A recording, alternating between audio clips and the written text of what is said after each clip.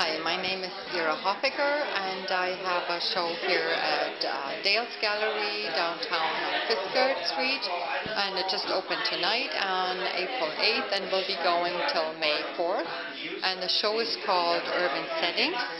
Um, this is one of um, one of the pieces I have here in the show, and uh, um, my influence and my inspiration definitely comes from urban spaces. I um, I love big cities, and they just inspire me, and I'm I feel really um, I find them very fascinating. So I love to study city architecture, urban planning. I um, I love to, um, you know, I come from Europe and I, I love to think about um, planning um, in the way, not like looking at one house, at one shape, but I love to think about cities where you have the challenge for urban planners, where you have um,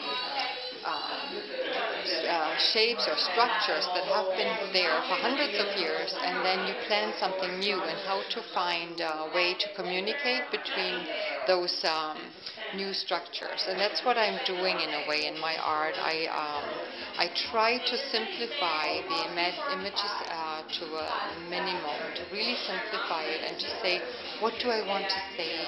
Um, with my work. I want to have a simple painting, but still I want the shapes to communicate with each other. I want, um, I have, I'm interested in, um, in exploring the concept of uh, organized shapes versus cha- chaotic lines or chaotic shapes, and that's what I'm trying to show here. So I work with a very, very simple um, color palette and I also uh, use the, the raw, the look of the raw linen. I incorporate that into my paintings. Um, also, what I do is I, I build my own canvases because of that reason to be able to use the raw linen, and also um, I, uh, I, I explore uh, drawing and painting at the same time in my work.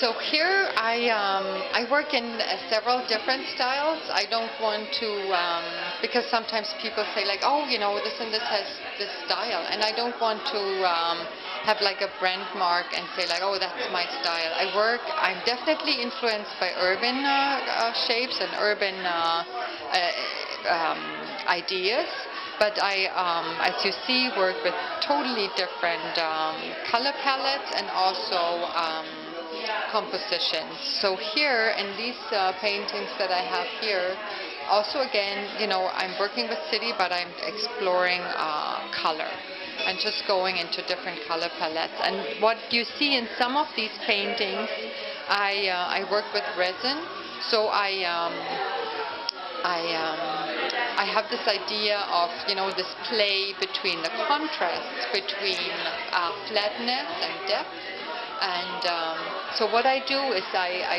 paint flat spaces because I, you know, I have no interest in painting an apple or, you know, a shape that comes out that looks three-dimensional. So I paint it totally flat, but then I want to create depth in a different way. I want to show depth, um, for example, uh, with resin. So what I do, I, I paint and then I pour a layer of resin and then I, I add more paint. And like this, I create an incredible depth to the painting which gives it a very specific look.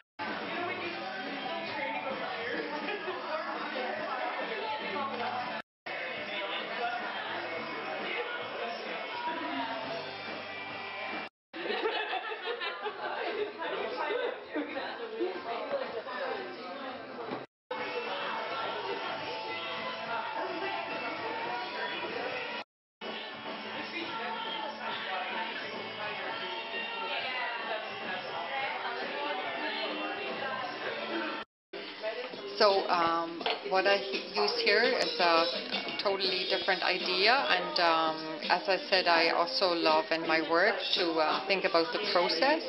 So um, I love the inspiration, and I feel extremely privileged to be able to make art. I think um, when you are able to be creative, it's extremely it's something extremely powerful. So.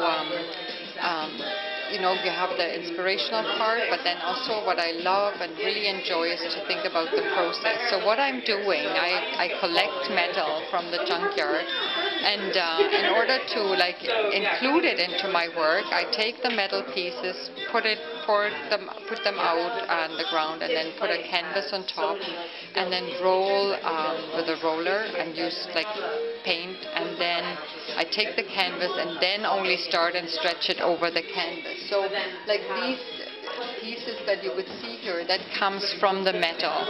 And uh, so, and that's how I start the painting. So I, what I like to play with is to, to come from uh, uh, from somewhere and to start the painting. So the painting, you know, has a long history um, before I even start to paint.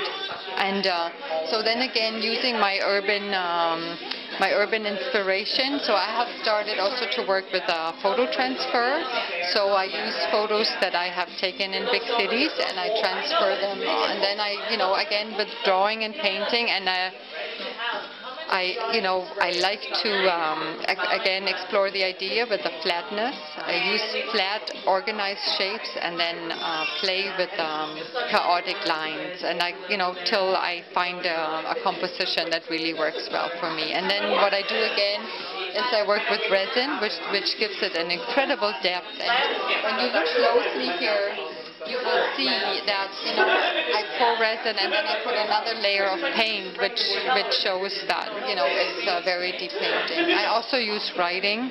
Um, it's um, that I do while I paint the painting, so it is not to be read. It's not a, a message that I write onto the painting. It's just like um, language, again, uh, trying for the shapes to communicate with each other. Just like um, trying to find language um, between the, the structures and the structures that should find a way to communicate. And that's why I use language and that's why I'm writing, but it's not supposed to be there to be to be read.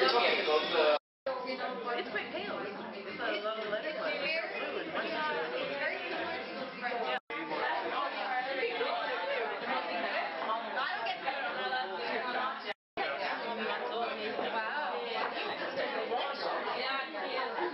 So here I have a piece that I would like to show you. Um, that is really special to me, and I've been working on this for a while. And it is it, it kind of implores or uses I use everything that I that comes out of me, all my inspiration. I try to put it all in one painting.